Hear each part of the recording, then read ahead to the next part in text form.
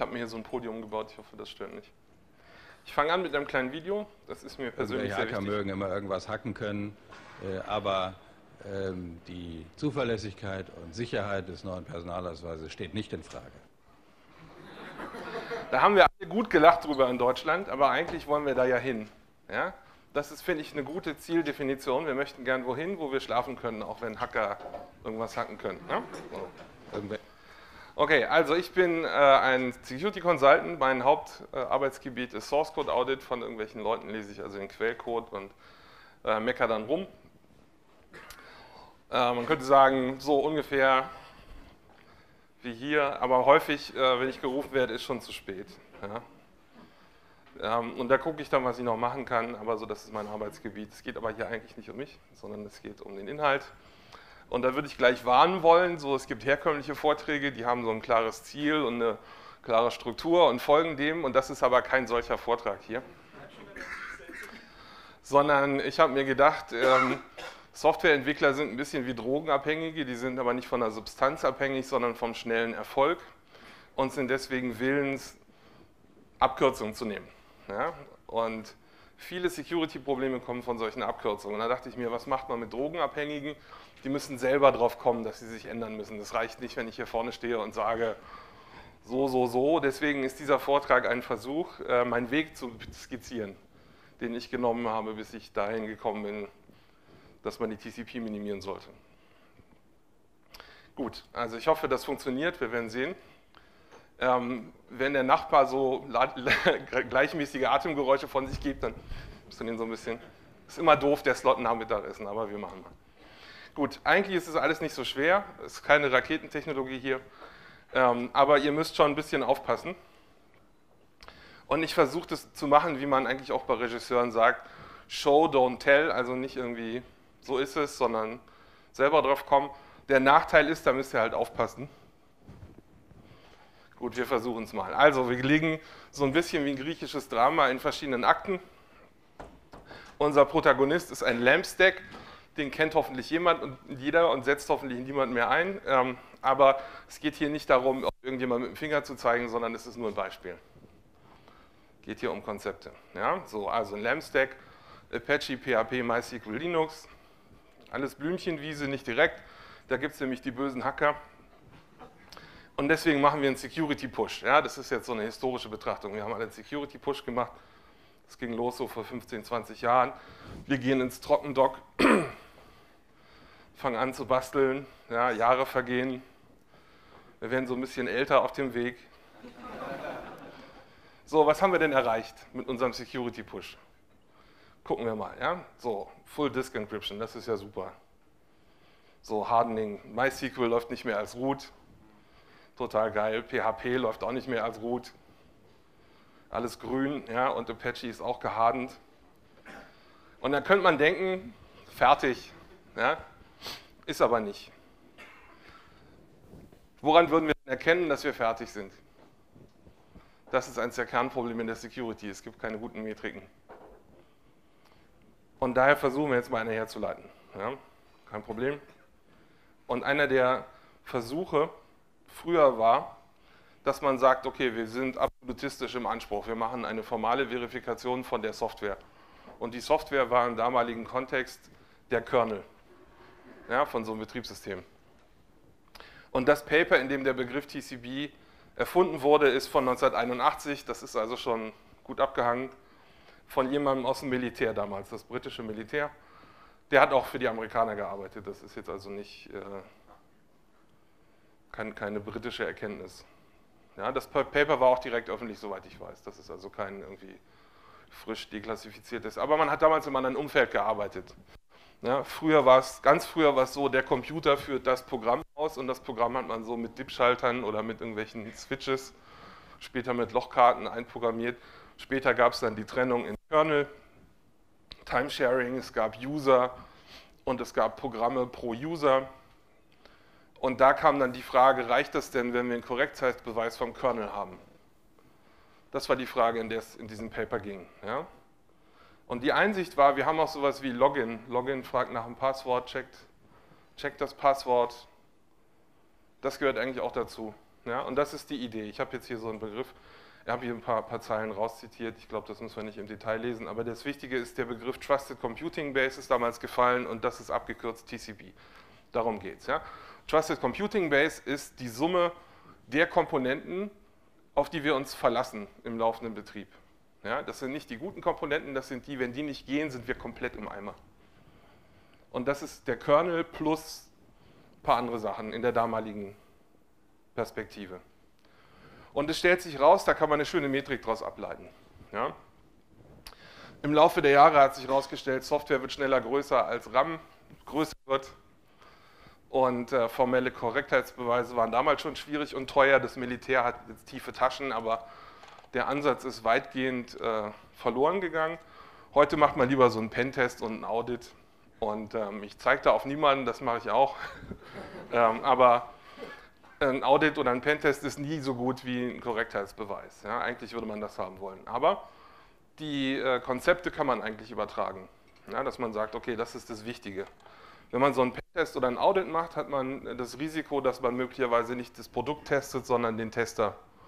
Wenn der was kann, kriegt man gute Findings, wenn nicht, dann halt nicht. Das heißt nicht, dass der Code gut war. Ja, das heißt, das ist ein generelles Problem. Und hier überhaupt eine Metrik zu finden, ist sehr schwierig und bisher meines Wissens nicht gelungen. Und der Aufwand steigt eben auch überlinear. Je mehr Code man hat, desto mehr Cross-Referenzen gibt es im Allgemeinen. So, das heißt, wenn wir hier versuchen, TCB anzuwenden, generell bei Code jetzt nicht mehr nur Betriebssystem und User Space Code, kann man sagen, TCB ist der Code, dem wir trauen müssen. Ja, wenn wir weniger TCB haben, haben wir mehr Security. Das ist sozusagen die Kernthese. Und um das zu illustrieren, habe ich mir gedacht, nehmen wir mal Copy oder Move. Wer Unix-Erfahrung hat, kennt das. Das sind die Kopierbefehle unter Unix. Das ist ein Programm, das ruft man auf und sagt, kopiere diese Datei nach da. Und der prüft aber keine Zugriffsrechte. Der macht einfach Open. Open ist ein Syscall unter Unix und der Kernel sagt dann, darfst du nicht. Ja, das heißt, wenn jemand Copy hackt, kann er sich damit keine Zugriffsrechte erschleichen weil die nicht von Copy geprüft werden. Ja, der Kernel ist also in der TCB, Copy nicht. So, und die wichtige Erkenntnis an der Stelle ist, die TCB ist der Code, der wichtiger ist. Die wollen wir kleiner kriegen und den möchten wir aber auch vollständig auditieren, zumindest perspektivisch. So, ich wiederhole mich hier ein bisschen, weil das echt wichtig ist und weil viele Leute das immer noch falsch verstehen. TCB ist nicht der schöne Code, dem wir vertrauen können, das ist der Code, dem wir vertrauen müssen. Ja, wenn wir dem nicht vertrauen können, dann gibt es äh, Probleme. Macht die auch noch ein bisschen, die Optik ist immer gut. Das ist ein schönes Beispiel. Wir haben hier einen Angreifer und wir haben hier eine TCB. Ja, so muss man sich das vorstellen. Oder hier ähm, auch typisches System, groß, komplex äh, und es gibt aber eine relativ kleine TCB. Und da ist der Auditor. Ja? So. Also das Ziel und die Metrik ist, die TCB zu minimieren. So, und die, das Schöne daran ist, wenn man mal eine Metrik hat, dass man von so Theater wegkommt. Und es gibt eine Menge Security-Theater. Die Snow Globes am Flughafen sind so einer der Klassiker an der Stelle. Aber es gibt objektiv viele Sachen, die in großen Firmen gemacht werden, die nichts bringen. Und eigentlich war es auch vorher schon klar, aber man wollte eigentlich auch nur zeigen, dass man was Schönes gemacht hat. Und eine der Versprechungen von TCB-Minimierung ist, dass man jetzt endlich eine Metrik hat und sagen kann, okay, das bringt nichts, das machen wir nicht. Ja, das ist so ein bisschen schwieriger, als es aussieht. Als Beispiel will ich mal eine Firewall nehmen. Vorher in der TCB die ganzen Router, die ganzen PCs, also so eine typische Firma oder von mir aus Uni. Und jetzt machen wir als Maßnahme eine Firewall drumherum. Und wenn man hinter der Firewall noch Mails lesen kann und Webklicken kann, hat man nichts gewonnen. Im Gegenteil, man hat jetzt in der TCB die Router, die PCs und die Firewall. Ja? So, in diesem Sinne ist das als Metrik zu verstehen. Gut, einen kleinen Witz am Rande. ähm, gut, kommen wir zum zweiten Akt. Man stellt sich sowas ja vor wie so einen schönen Käse. Ja, man hat außenrum eine dünne Schutzschicht und drinnen ist alles super. In der Praxis sieht das eher so aus. Ja, was kann man denn messen? Wir haben ja vorhin unser Beispiel mit dem LAMP-Stack gehabt, den messen wir doch jetzt mal. So, alles ist grün. Ne? So, was haben wir denn erreicht? Der Kernel ist natürlich immer noch an der TCB. Der ist also nicht grün, der ist rot. Ne? So, schon mal nicht gut. Ihr ahnt schon, wo es hingeht, aber braucht ein bisschen. So, ähm, ich muss leider ein bisschen ausholen an einigen Stellen. Es geht so, gehen wir mal zurück in die, in die 80er Jahre, da gab es Multi-User-Systeme und Terminals und ein Terminal war über eine Leitung verbunden. Heute sind wir über paketverbundene Netze miteinander verbunden. Es gibt keine Verbindung mehr, das ist eine Illusion. Aber das ist nicht der Punkt, auf den ich hinaus wollte, sondern die Software lief auf demselben Rechner. Die Datenbank und die Anwendung waren damals noch nicht so getrennt. Das Stichwort war ISAM damals. Und wir haben User-IDs eingeführt, also Accounts im Betriebssystem, um User A und User B voreinander zu schützen. Ja? UIDs. Tolle Idee. So, wie ist denn das heute? Keine Terminals, die kommen über HTTP rein. Die Anwendungen laufen alle unter der gleichen UID. Datenbank ist jetzt getrennt, immerhin. Unser Ziel ist dasselbe, aber was haben wir denn erreicht? Eigentlich nichts. Ne? Im Gegenteil, ein Rückschritt. So, wir haben zwar die UIDs, aber die trennen nicht mehr die Benutzer voneinander, sondern die trennen technische User voneinander. Geht noch weiter, nehmen wir mal Passwörter. Das ist ein Problem aus den 80ern, das wir heute auch noch haben. Ähm, die Sorge bei Passwörtern sind, dass die verloren gehen, dass die jemand abgreifen kann. Und damals hat man gesagt, okay, dann machen wir äh, eine Trennung, wir machen eine Datei, die etc passwd, da steht alles drin, aber das Passwort eben nicht. Und dann gibt es etc shadow, das darf nur root lesen und da stehen dann die Hashes der Passwörter drin. Ja? So, Kompartmentalisierung ist einer der Vorvorträge heute genannt. Heute haben wir im Grunde dieselbe Sorge, aber äh, keine der Lösungen von damals. Durch diese technischen User. Wir packen die Daten einfach in eine Datenbank und dann haben wir ein PHP und ein Apache und dürfen eigentlich alles. Und da muss man eigentlich sagen, ähm, das ist nicht gut. Ja? Und ähm, ich finde, dass es wichtig ist, an der Stelle nochmal zu überlegen, was wir eigentlich schützen wollen. Ja, die Daten wollen wir schützen. Ja, wir wollen nicht unser System schützen. So groß rumhardening bringt ja nichts, wenn der Angreifer gewonnen hat, wenn er die Daten rauslutschen kann. Ob der dann auch noch einen Backdoor auf meinem Server installiert, ist doch egal, der ist schon alles kaputt. Ja?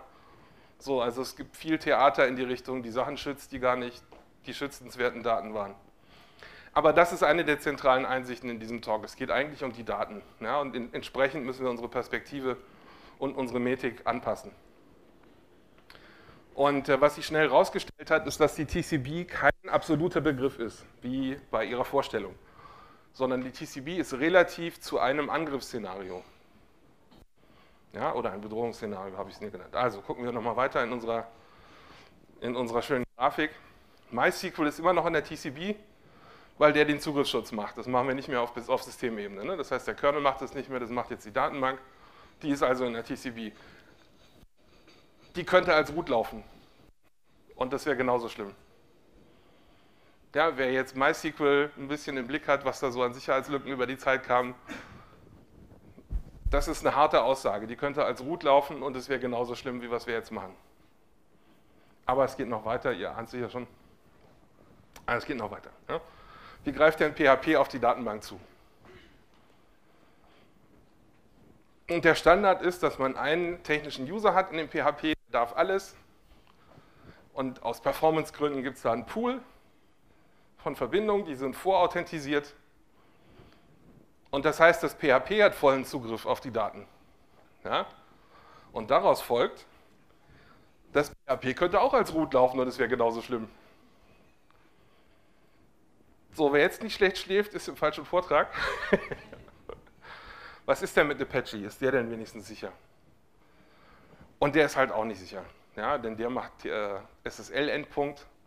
Das ist auch gut so, dass der Apache den macht. Das Problem wird nicht besser, wenn ich das in der Appliance davor mache. Aber der sieht alle Daten, die durchlaufen. Ja. Und der hat wahrscheinlich noch die TLS-Schlüssel. Das heißt, äh, ob der jetzt als HTTP oder root läuft, ist auch egal. Ne? So, das ist der Zustand. Da müssen wir jetzt mal was machen. Ne? Und äh, mein Eindruck ist, dass wir unsere Software größer machen, aber nicht besser. Ja, das ist ja schön, wenn man große Software hat, aber es führt halt am Ende nicht unbedingt dahin, wo wir hinwollen. Gut, wir kommen weiter. Dritter Akt. Was machen wir denn jetzt? Also wir haben jetzt verstanden, wir haben ein Problem, was machen wir jetzt? Erste Idee, und die ist auch gut, wir teilen mal das PHP auf. Wir machen jetzt ein PHP 1 und ein PHP 2. Ja? Alle Lesezugriffe gehen durch PHP 1 und der technische User von dem PHP darf auch nur lesen. Das heißt, wenn da jemand eine SQL-Injection findet, in irgendwas, was auf dem ersten PHP läuft, kann er damit nicht Drop Table sagen. Na? Konzept ist klar? Hat das hier schon mal jemand gemacht? Einer? Zwei. Immerhin. also, das ist eine gute Idee, aber es führt nicht weit genug. Ja? Man muss sich immer fragen, was hat das jetzt gebracht? Das ist die eine wichtigste Frage in der IT-Security. Was bringt das, wenn wir das tun? Machen wir das, damit es gut aussieht oder haben wir was erreicht? Ja, so, also es ist gut, SQL Injection in PHP 1 macht nichts kaputt, aber das zweite PHP bleibt in der TCB. Das ist schon mal schlecht. PHP will man eigentlich raushaben aus der TCB. Aber was heißt denn Datenschützen? Heißt Datenschützen nur Schreibzugriff verhindern oder heißt es auch, ich will nicht, dass es einen Dump gibt im Dark Web? Und das heißt es halt im Allgemeinen. Ja? Dass schon ein Out-of-Bounds-Read von der Datenbank schon ein Totalschaden ist. Und dann ist halt auch PHP 1 noch in der TCB. Und so geht das leider häufiger in der Security. Man macht was, das sieht total super aus und bei näherer Analyse stellt sich raus, hm, nicht so hilfreich. Und dann dachte ich mir, okay, wir lernen von der Telekom, die Deutsche Telekom, die weiß, was sie tut. Die haben in den 80ern einen Dienst gehabt namens BTX, Bildschirmtext. Und da haben sie äh, Anwendungen gehostet, zum Beispiel von der Sparkasse, die ist dann vom CCC gehackt worden, deswegen habe ich das hier als Beispiel. Und weil das ein Server der Telekom war, auf dem die Software lief, war die Telekom mit in der Haftung. Das war ein Problem. Ja, heute verkauft die Telekom Netzzugang. Und wenn da jemand gehackt wird, ist das nicht deren Problem. So können wir das auch machen. Ja? Das ist doch super. Und die, die erste Idee ist, okay, wir verschlüsseln einfach alles. Ja, Kryptographie for the win. Wir verschlüsseln alles wir machen die Daten in der Datenbank einfach verschlüsselt ab jetzt. Ne? So, das wird verkauft. Also nichts von dem habe ich mir ausgedacht, das wird gemacht. Ne? Wem gibt man denn jetzt den Schlüssel? Es gibt diesen schönen Spruch, Kryptographie ist ein Verfahren zur Umwandlung von allen Problemen in ein Key-Management-Problem. Ja? Das trifft auch hierzu. Wer hat denn den Schlüssel? Jetzt kann man sagen, okay, den einzigen Schlüssel gebe ich dem User. Dann bin ich tatsächlich aus dem Schuss. Ne? Weitgehend. Also wenn jemand in der Datenbank was unautorisiert gelöscht kriegt, ist immer noch doof, aber jedenfalls kann nichts manipuliert oder geklaut werden. Und dann müsste ich aber die Entschlüsselung auch im Browser machen. Ja? In JavaScript zum Beispiel. Das ist gut, dann sind alle möglichen Komponenten nicht mehr in der TCP, jedenfalls auf den ersten Blick. Aber ich kann halt auch als Server nicht mehr auf die Daten zugreifen. Und das äh, ist nicht kompatibel mit vielen Businessmodellen. Ja? So die, die so funktionieren können, sind so Cloud Storage und File Sharing. Hier mega Upload macht so. Ne? Das, in einzelnen Fällen kann das akzeptabel sein, aber es ist keine generische Lösung. Wenn man in dem Gebiet rumgoogelt, findet man immer homomorphe Verschlüsselung. Ich mache mich da seit, ich glaube, 15 Jahren drüber lustig. Das geht nicht weg. Die Idee ist, man verschlüsselt die Daten so, dass aber noch ein Select geht. Und äh, das ist äh, Bullshit. Ja? Glaubt dem nicht. Man kann das machen, theoretisch. Man kann Krypto so strukturieren, dass einzelne ähm, Vergleiche von Feldern noch gehen, aber dann habe ich die Krypto damit geschwächt. Das ist kein guter Ausgangspunkt. Ja? Wenn ich vorher nicht weiß, was ich gern tun will, was ja bei Big Data üblicherweise das Szenario ist, geht das schon mal gar nicht. Ne? Und ähm, also so Urlaubsszenarien gehen gar nicht. Und die Fälle, in denen es geht, sind dann aber richtig schlecht. Ja? Ähm, denn das heißt, dass wenn der Vergleich noch gehen muss, dann heißt es, aus demselben Wert kommt auch derselbe verschlüsselte Wert raus. Und dann kann ich durchprobieren, ja? wenn es ein diskretes Feld ist, wie zum Beispiel Datum oder Alter oder so. Also homomorphe Verschlüsselung, lasst euch das nicht andrehen. Ja? Das ist ein Forschungsfeld, es kann sein, dass da irgendjemand irgendwann einen großartigen Durchbruch hat, aber Ich würde nicht die Luft anhalten. Gut, also wir kriegen die Daten nicht verschlüsselt. Was machen wir denn dann? Vielleicht verschlüsseln wir halt den Key. War so eine Schnapsidee auf dem Weg. Gucken wir mal, bringt uns das weiter. Findet man gelegentlich in Anwendungen irgendeine XOR-Scheiße, das ist natürlich nichts. Ne? Gut, aber jetzt nehmen wir mal nicht XOR, sondern AES. Und das ist halt auch nichts. Ja, denn unsere Annahme war ja, der Angreifer kann unser PHP hacken und unser PHP macht die Verschlüsselung. Der hat den Schlüssel. Ja? Hm, nicht gut. Ähm, okay, dann machen wir halt Public Key. Also ihr seht schon, man wird immer verzweifelter, greift so nach Strohhalm. Machen wir halt Public Key. Und das ist halt auch nichts, wenn der Name irgendwie ratbar ist. Und der ist im Allgemeinen ratbar, weil auch die E-Mail-Adresse in den, in den Daten drin steht. Und die Daten haben wir ja nicht verschlüsselt, wenn ihr euch erinnert. Und im Allgemeinen kann man den Namen auch raten. Ja, viele Angriffe sind gerichtet auf eine bestimmte Person, dann kann ich raten. Gut. Ist auch nicht gut. Ja? Also man kann sich da Sachen überlegen, mit irgendwelchen Tokens gehe ich gleich noch ins Detail, aber im Allgemeinen hat man dann so einen Schutz, der aber niemanden wirklich abhält. Ne? So, Krypto sieht nicht wie die Lösung aus.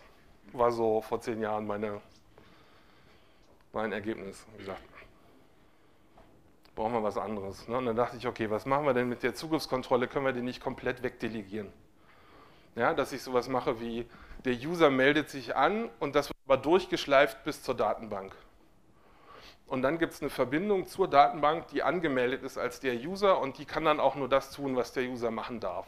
Ne, das klingt gut. Aber das geht halt auch durch Apache und PHP durch und die können mitlesen. Die sehen dann also die Credentials. Ne? Das ist nicht gut. Ähm, immer noch in der TCB haben wir nicht viel gewonnen. Haben wir wieder so einen Schutz aufgebaut. Gut, aber da können wir vielleicht mit Krypto was machen. Ne? Vielleicht haben wir sowas wie ein Geheimnis pro User in der Datenbank und dann haben wir irgendwelches Hashing im Browser und da kommt dann ein Token raus. Und dann sehen leider der Webserver und das PHP immer noch das Token. Also das ist auch nicht gut. Ja? Wieder so ein Mechanismus. Ich sammle diese Art von Bildern. Wenn ihr da welche habt, die ich noch nicht verbaut habe, meldet mir nicht. Gut, also, aber da kann CryptoCrenta auch eine Lösung. Wir machen Challenge Response zur Datenbank. Ja? Challenge Response, total super. Ähm, aber das Token, was aus dem Challenge Response rauskommt, geht ja immer noch vorbei an dem PHP und dem Apache und die können dann andere Sachen damit machen. Ist nicht gut, haben wir immer noch nichts gewonnen. Gut, aber vielleicht machen wir pro HTTP-Request Challenge Response. Ja? Das geht langsam in so Territorium, was richtig teuer ist von der Compute-Last. Compute Aber so, wir denken es mal theoretisch durch. Wir machen jetzt pro Request einen Challenge Response. Und ähm, da geht leider der Back-Button mit, mit kaputt. So, man müsste in das Token dann einbauen, um welchen Request es als nächstes geht oder so, oder man eine laufende, eine laufende Nummer, die hochgeht oder sowas. Und ähm, das hilft auch noch nichts. Ja? Okay, noch mehr Krypto. Jetzt machen wir einen Thick Client, da ist gar kein HTTP für HTML mehr dazwischen, sondern ist alles eine JavaScript-App. Und da können wir aber pro Request einen Challenge Response machen. Ja? So, das ist eine gute Idee, das klingt schon mal gut. Wenn wir jetzt einen Hash von dem Request als Teil des Tokens nehmen, können wir auch verhindern, dass es jemand in der Mitte für was anderes benutzt. Ja? Super. Nicht so gut, denn der wird ja immer noch vom Apache ausgeliefert, der Thick Client. Ja, der kann also auch einen bösen Client ausliefern, der andere Dinge tut. Apache ist immer noch in der TCP. Und die Datenbanken, die es da draußen so gibt, die können gar keinen Challenge Response. Da bräuchte man also so einen Proxy davor und den würde man wahrscheinlich in PHP implementieren. PHP ist immer noch in der TCP. Ähm, es könnte sein, dass wir Strich was gewonnen haben, wenn die Komplexität gesunken ist.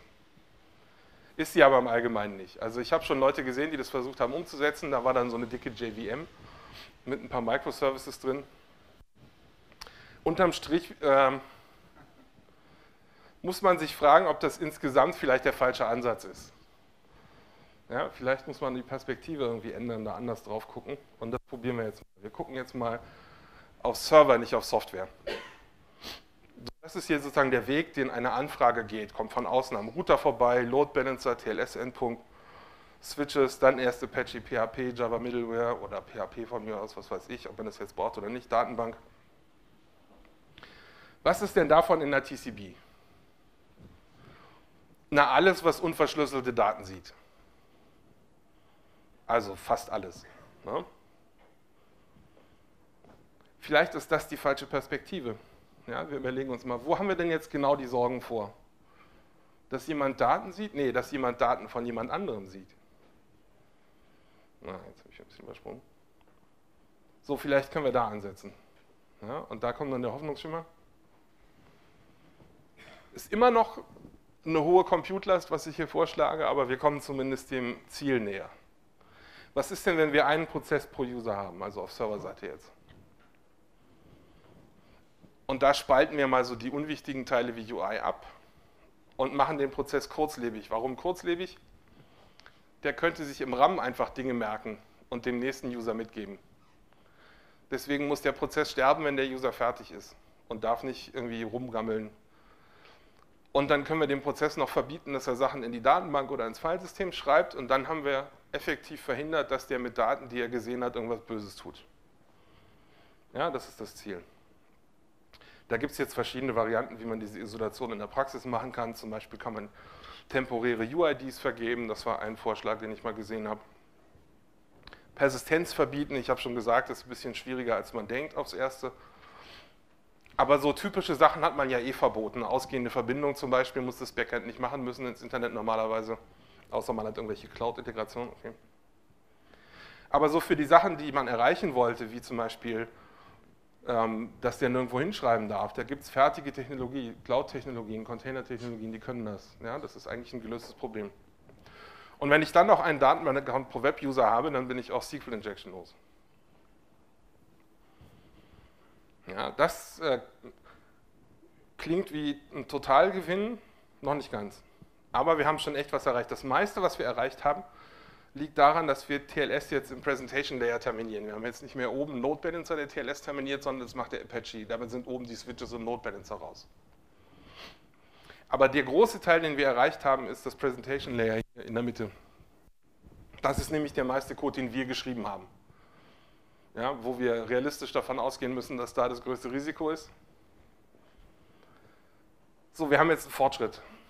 Zum ersten Mal. Ja, der Silberstreifen am Horizont.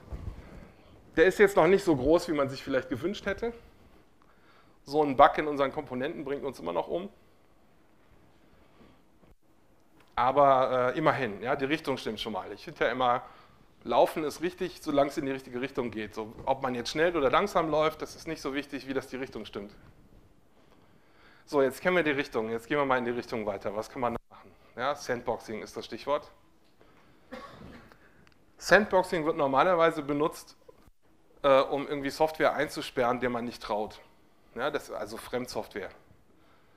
Das anzuwenden auf eigene Software, die man, der man nicht traut, weil man glaubt, man könnte gehackt werden, ist eine relativ neue Sache. Das ist vor allem durch Webbrowser populär geworden. Chrome hat es seit einer Weile, Internet Explorer hat es seit einer Weile, Firefox macht es auch. Inzwischen gibt es auch Adobe Reader und sogar der Antivirus von Microsoft macht jetzt Self-Sandboxing. Das ist ein guter Trend aus meiner Sicht. Ja? Also hier so Oldschool Unix-Sachen, was man machen kann. Es gibt, wie gesagt, neuere Technologien, da habe ich auch schon mal einen Vortrag drüber gehalten, das kann man googeln. Ja, das sind die Techniken, die zum Beispiel Docker intern benutzt. Oder von mir aus kann man auch irgendwelche VM-Isolationen nehmen. Wie man das am Ende macht, ist egal. Man muss nur erreichen, dass so Schreibzugriffe verboten werden. Das Problem mit häufigen, wenn man so Regeln vergibt, zum Beispiel mit SE Linux muss man Regeln vergeben, was die Anwendung machen darf und was nicht. Und wenn das jetzt der Admin machen muss, ist der im Normalfall überfordert. Der kann es gar nicht beurteilen, was die Anwendung machen können muss und was nicht. Und was man normalerweise macht, ist ein Training Mode. Also man lässt es laufen und guckt, was er gemacht hat und sagt, das ist jetzt die Baseline. Und da fallen aber alle Fehlerpfade im Code nicht rein, die halt nicht aufgetreten sind. Daher ist das aus meiner Sicht nicht gut. Ja? Und ich schlage stattdessen vor, dass sich die Prozesse selbst sandboxen. Das heißt, der Programmierer, der das schreibt, der kann beurteilen, was das Ding können muss und was nicht. Der sollte auch die Aufgabe haben, Sandbox-Regeln zu definieren. Und er kann sie auch gleich installieren im System. Ja, ich glaube, das ist das richtige, der richtige Weg. So macht Chrome das, da konfiguriert man ja auch nichts von außen oder Firefox. Der sperrt sich halt selbst ein. Die Idee, wie sowas abläuft, ich paraphrasiere das jetzt natürlich, da gibt es schöne APIs für, man sagt im Wesentlichen sowas wie, ab jetzt muss ich nie wieder ein anderes Programm ausführen. Wenn ich es doch tue, bin ich gehackt worden und jemand will eine Shell poppen. Ja? Und dann sagt man dem Kernel, wenn ich es versuche, erschieß mich. So funktionieren diese APIs. So, und wenn man das benutzt, hat man aber alle Werkzeuge zusammen für das, was wir haben wollten am Anfang. Ne? Wir sind immer noch bei der TCP-Minimierung.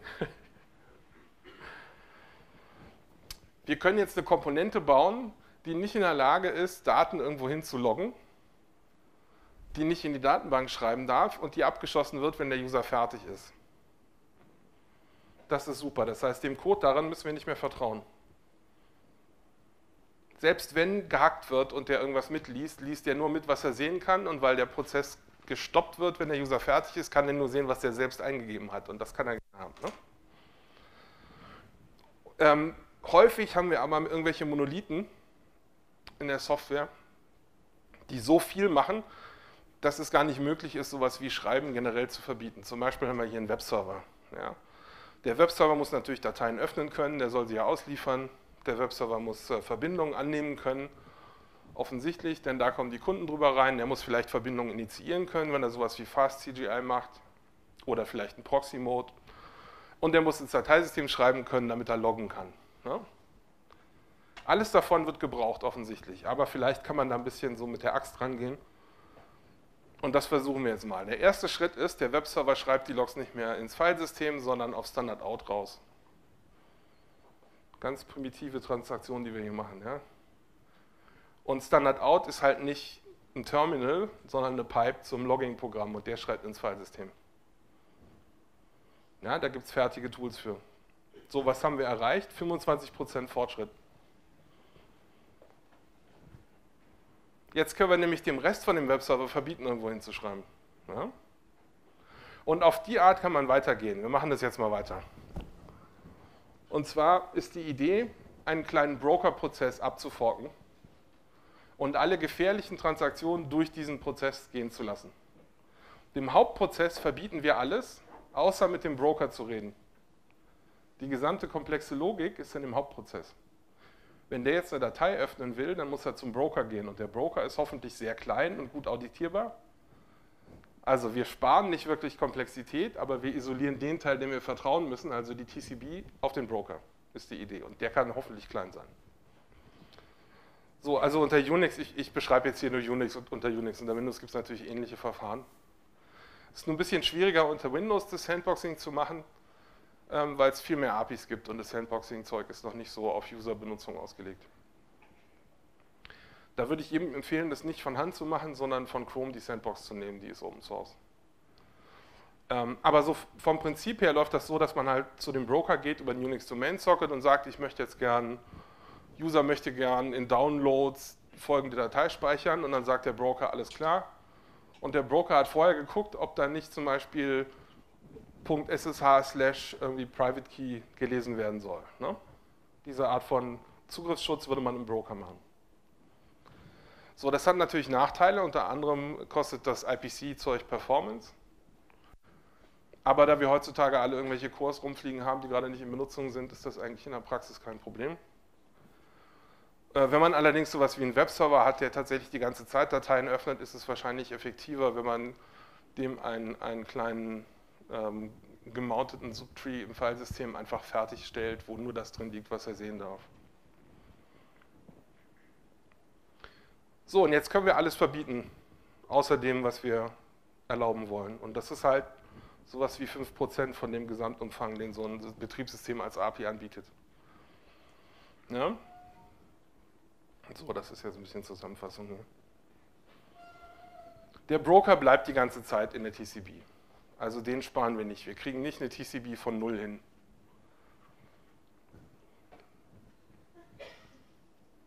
Aber der neue Stand sieht schon sehr gut aus. Ja? Unser Webserver, der Teil, dem wir trauen müssen, die TCB, ist jetzt auf unter 10% gesunken. Wenn man das mal so richtig durchziehen würde, könnte man echt was reißen, ist mein Eindruck. Ich glaube, da wird es auch hingehen die nächsten Jahre. So, der schwarze Teil wird immer kleiner hier. Und ich finde, das ist ein gutes Ergebnis. Ja, ich habe hier mal ein schönes Bild zusammengesucht. Ja, ähm, viel von Security ist entweder Theater oder so, oh mein Gott, wir werden alle sterben. Das ist so die eine Sache, die ich gefunden habe, von der ich glaube, dass, da können wir wirklich was reißen. Ne? So. Und Stoffware bin ich weitgehend durch. Jetzt noch ein bisschen Zusammenfassung. TCB ist relativ so ein Szenario, das habe ich ja schon gesagt. Aber für die meisten Szenarien kann man was reißen mit verschiedenen Methoden. Ja? SQL Injection kann man relativ weitgehend killen mit dem Trennen und dem Durchreichen der Authentisierung an die Datenbank. Ein älteres Konzept war validierende Proxys. Da würde ich heute von abraten, weil so ein Proxy auch eine hohe Komplexität hat, die in vielen Fällen genauso hoch oder höher ist als das, was man schützen will. Aber es ist eine Sache, die man machen kann, ja? wenn man es schafft, es irgendwie deklarativ zu machen oder in der funktionalen Sprache oder keine Ahnung. Kann das immer noch gut sein. Also SQL Injection kann man bearbeiten, da können Apache und PHP raus. Cross-Site Scripting kann man bearbeiten, indem man Apache ein paar Header ausliefern lässt, die sind hoffentlich wohl dokumentiert und bekannt. Ähm, dann kann das PHP aus der TCB, der Apache aber noch nicht, weil der muss ja die Header setzen. Ja. Aber immerhin. Für Dateisystem- und Netzwerkzugriffe kann man mit dem Broker-Konzept eine Menge reißen. Und äh, aus meiner Sicht wäre das ein Riesengewinn, wenn wir das mal alle machen würden. Ja, das ist natürlich immer so famous last words in der Security. Wir müssten nur alle ab morgen. Äh, aber ich glaube, das ist eine Sache, über die wir mal zumindest mehr reden müssen, ja, warum wir das nicht tun. Denn es wird ja wirklich eine Menge Geld für Security ausgegeben. Nur halt nicht in Dinge, die was bringen, sondern in so Heizlüfter-Appliances, die dann rumstehen und Logs generieren, die keiner liest.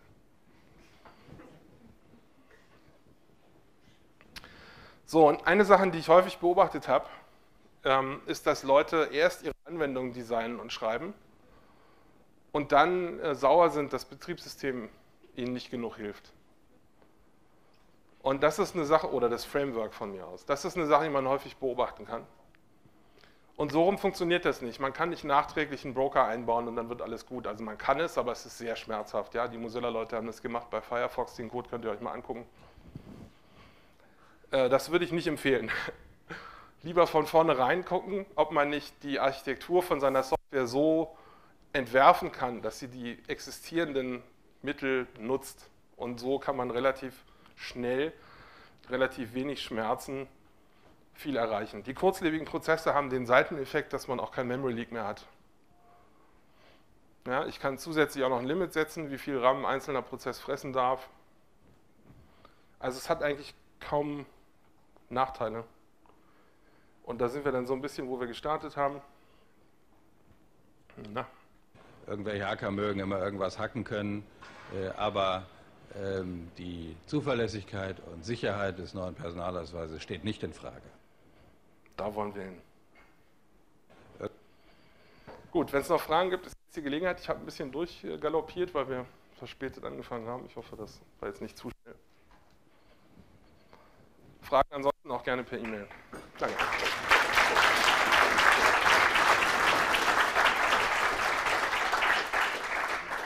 Ja, Dankeschön. Das Video hat mich erinnert an den Cyber, Cyber, Cyber Song, falls den wer kennt. Ähm, dann zuerst Frage, ähm, ist die Tatsache, dass du weder PHP noch MySQL bei deinem Blog verwendest, das Resultat aus den Erkenntnissen? Nee, das war schon vorher. Also ähm, die Erkenntnis, dass man, wenn man eine Aussage treffen können will über die Software, dass man sie dann klein halten muss, die ist so eine, eine relativ frühe Erkenntnis gewesen bei mir. Und da fallen PHP äh, eigentlich schon direkt raus und Apache eigentlich auch. Ähm, ansonsten mache ich das eigentlich nicht, weil mir jetzt meine Sachen besser sind, sondern weil ich die halt selbst geschrieben habe. Also meine Softwareentwicklung funktioniert immer so, dass ich irgendwas mache und dann daraus Leidensdruck ableite, irgendwas anderes fertigzusstellen. Mhm. Und so werden bei mir Sachen fertig, dass ich halt irgendwie eine Software schreibe, die braucht dann halt einen Webserver und dann wird halt der Webserver fertig. So. Äh, auch noch eine Frage, die was leider gestellt wurde. Äh, können Containerlösungen wie Docker und so weiter helfen oder ist das auch eine dieser klassischen Trugschlüsse, die wir da gesehen haben? Also die Docker unterliegenden Technologien können auf jeden Fall helfen. Docker selbst würde ich inzwischen auch als zu groß und zu komplex ansehen. Es gab da einige Sicherheitslücken, die völlig unnötig waren, wo irgendein äh, Control-Socket innerhalb der Container sichtbar war und darüber konnte man dann Dinge steuern und sowas darf nicht passieren. Ja? Wenn sowas einmal passiert, heißt es, dass die Leute beim Design nicht drüber nachgedacht haben. Und das ist für mich ein Zeichen, dass ich das generell nicht haben will. Aber die Technologie unterhalb von Docker wird ja auch für andere Container-Sachen benutzt. Die sehen auch alle nicht so richtig klein aus, da müsste vielleicht mal jemand was machen, aber ähm, ich halte den richtigen Weg auch eher, dass die Anwendung versucht, sich einzuklemmen, als dass man von außen irgendwelche Container-Sachen macht. Was man häufig beobachten kann in der Praxis ist, dass Leute sowas wie Docker und, und Microservices machen, aber dann irgendwie 50 Services in einer JVM in einem Container. Und das bringt natürlich nichts. Ja, die Idee ist, dass man die Isolation ausnutzt. Und das muss man dann auch tun. Also Docker selbst habe ich jetzt nicht angeguckt, weiß nicht, wie, wie, schlimm das ist, aber so der Blick von außen sieht nicht so gut aus. Ja. Und welche konkreten Möglichkeiten gibt es für Self-Sandboxing zum Beispiel für Linux? Also die APIs, die es dafür gibt, ähm, das wichtigste API ist Seccomp, das wird auch benutzt von, von Docker. Es gibt ein paar viel kleinere Tools als Docker für so Do-it-yourself-Spielen mit Sandboxing, zum Beispiel FireJail, kann man ja mal googeln die kommen auch so mit Profilen für sowas wie Firefox. Das ist der ursprüngliche Anwendungszweck gewesen. Inzwischen macht Firefox das auch nochmal selber. Was man zu diesen Container-Technologien noch sagen sollte, ist, dass die äh, geschachtelt funktionieren. Also man kann mehrere Schichten haben, die den Zugriff verkleinern und die stehen sich dann nicht im Wege. Ja, das heißt, nur weil man jetzt Docker nicht mag, heißt es nicht, dass man auf Container verzichten muss. Und nur weil man jetzt FireJail einsetzt, das heißt es nicht, dass man dann nicht auch noch einen Docker haben kann. Also da müsst ihr ein bisschen mit rumspielen. Aber die, das Ziel sollte immer sein, die Komplexität der Software, der man vertrauen muss, klein zu halten. Und Docker ist halt Teil der Komponenten, denen man da vertrauen müsste. Und das ist aus meiner Sicht ein bisschen zu groß geworden. Aber vielleicht muss es auch so groß sein, ja, bei dem Umfang, Funktionsumfang. Habe ich jetzt auch keine Einsicht. Gut, Vielen Dank, Felix, dass du auch den weiten Weg auf dich genommen hast, zur SecWordF nach Wien zu kommen. Vielen Dank nochmal bitte einen Applaus für Gerne. Felix von Leitner.